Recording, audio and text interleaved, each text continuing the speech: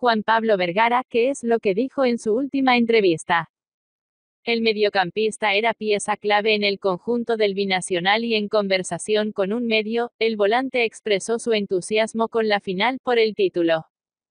Juan Pablo Vergara falleció tras sufrir un accidente automovilístico en la carrera Juliaca, Puno. En una de las últimas entrevistas que dio, Vergara había revelado uno de sus sueños que estaban a poco de cumplirse. El mediocampista era pieza clave en el conjunto del binacional y en conversación con América Noticias, el volante expresó su entusiasmo con la final por el título. Yo no he disputado ninguna final nacional. No me la quiero perder por nada del mundo. Es una final, eso queda en la historia de cada uno de nosotros. Es para nuestros hijos, para los hijos de nuestros hijos. No podemos dejarlo pasar, dijo. Sin embargo, también expresó la dificultad de tener cerca a su familia.